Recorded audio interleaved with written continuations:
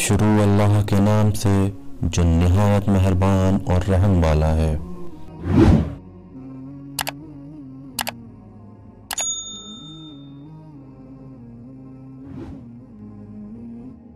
रात गुजर चुकी थी, सितारे झिलमिलाकर आसमान में डूब रहे थे।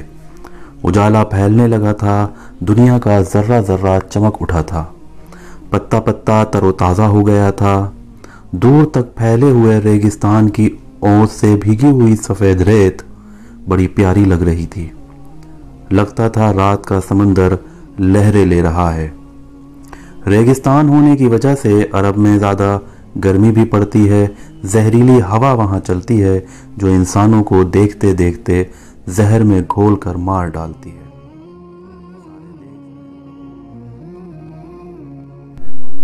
सारे मुल्क में रेत के इतने बड़े बड़े टीले हैं कि मीलो हरियाली नज़र नहीं दिखाई देती।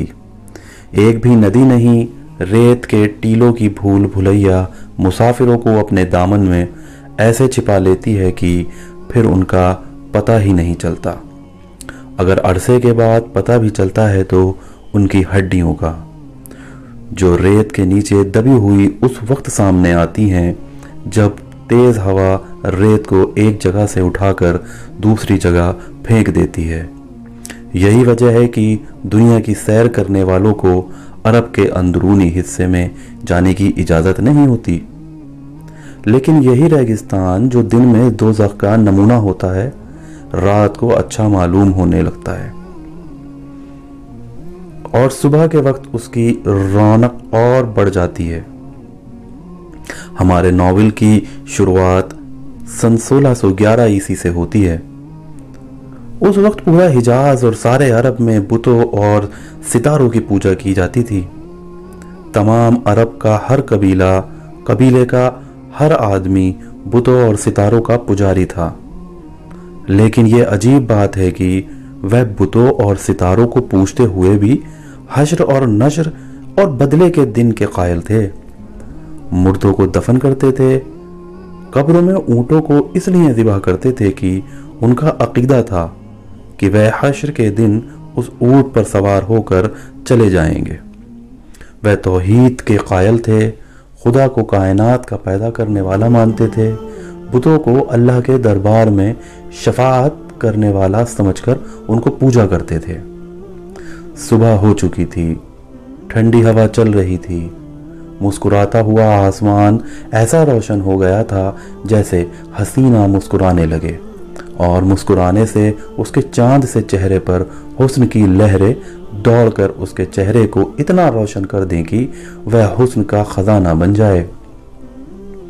उस वक्त मक्का के एक कोने से बहुत ही हल्की सुरीली आवाज़ पैदा हुई, जो धीरे धीरे बढ़ने लगी।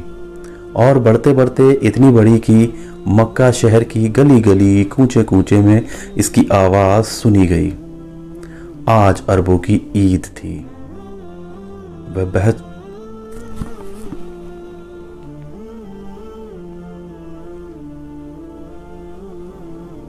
बहुत सवेरे जाग चुके थे और आवाज़ को सुन सुनकर मर्द और बच्चे बैतुलहरम की तरफ़ दौड़ने लगे। मक्के की गली कूचे में हलचल शुरू हो गई और लोगों के गिरोह के गिरोह तेज़ी से लपकते नज़र आने लगे। सुरीली आवाज़ अभी तक बुलंद हो रही थी। बड़ी लुभावनी आवाज़ थी। ऐसा लग रहा था जैसे कोई सुरीला बाजा बज रहा है। लोग शहर के चारों ओर से तेज़ी के साथ बैतुल हराम की तरफ़ दौड़ रहे थे। वह चमचमाते हुए कपड़े पहने हुए थे और पीले पटके बांधे हुए थे। वह अरबी लिबास में थे।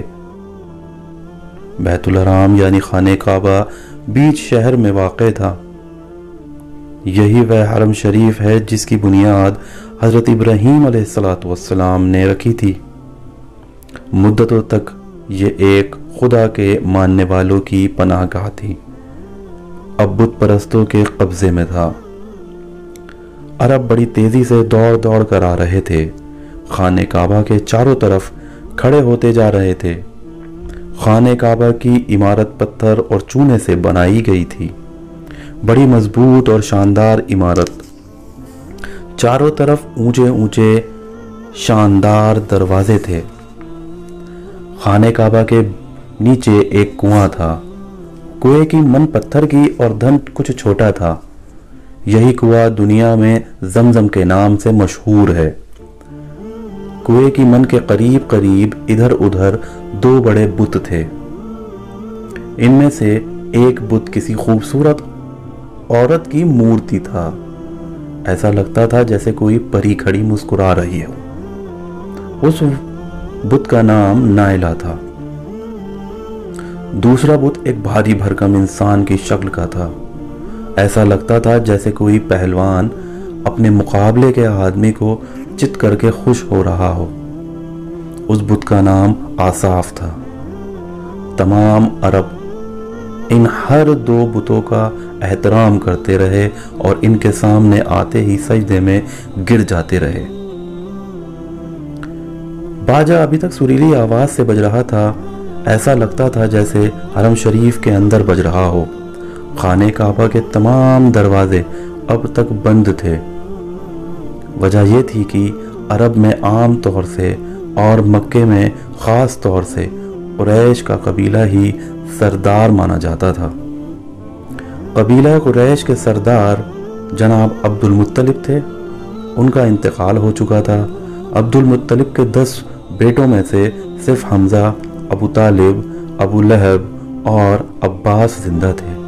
बाकी मर चुके थे। कबीला कुरैश ने अबू तालिब को अपना सरदार मान लिया था। उनका इतना रौब था कि किसी को उनके सामने बोलने की हिम्मत ना होती थी। बैतुल हरम की कुंजी उन्हीं के पास रहती थी। जब तक वे दरवाज़ा ना खोलते, कोई आदमी बैतुल हरम में दाखिल ना हो सकता था।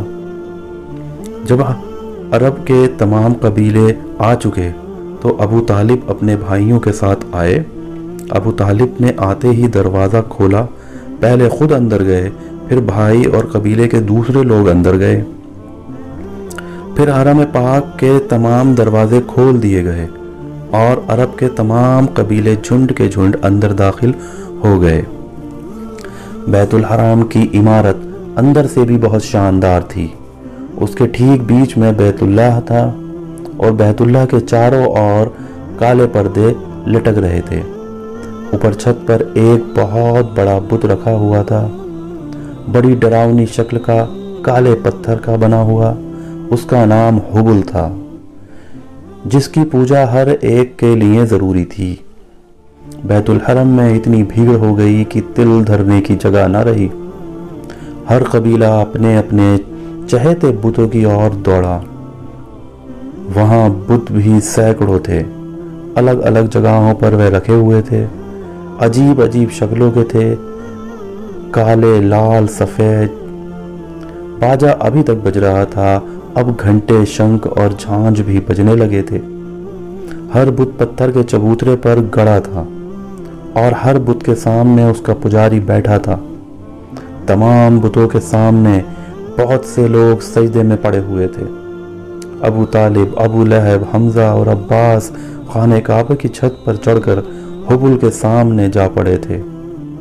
बुत परस्ती का ऐसा मंजर शायद ही किसी की नज़र से गुजरा है।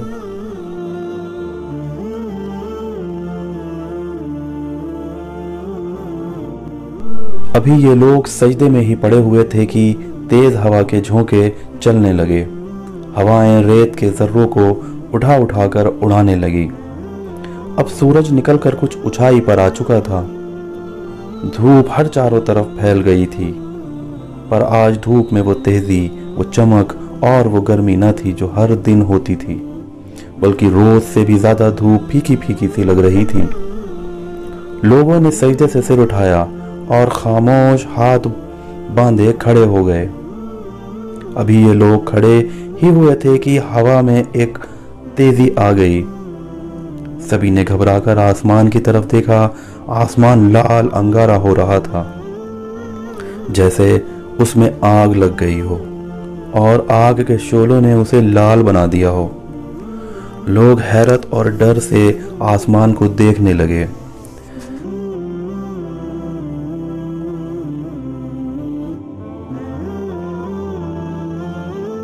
देखते ही देखते आसमान का रंग लाल स्याही में बदलने लगा।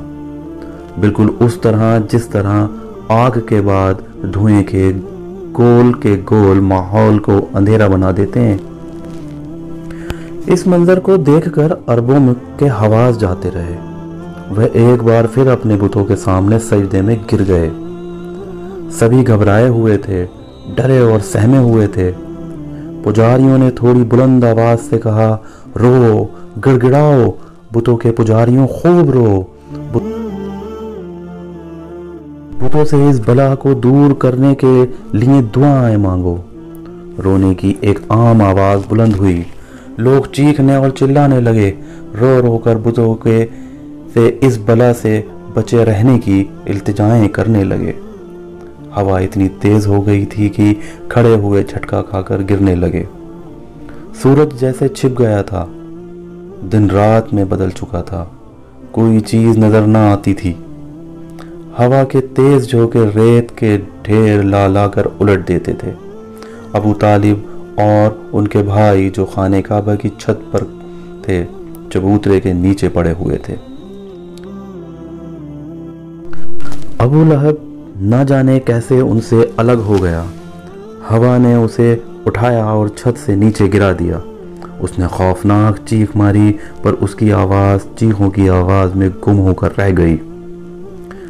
मक्के पर कहरे इलाही नाजिल हो रहा था। बच्चे और बूढ़े सब के सब चीख और चिल्ला रहे थे। रो रो कर अपने महबूदों से इल्तजाएँ कर रहे थे, पर उनके महबूद पत्थर के थे। वह कुछ सुनते ही ना थे। लोगों की घबराहट बढ़ रही थी। उनके दिल काँप रहे थे।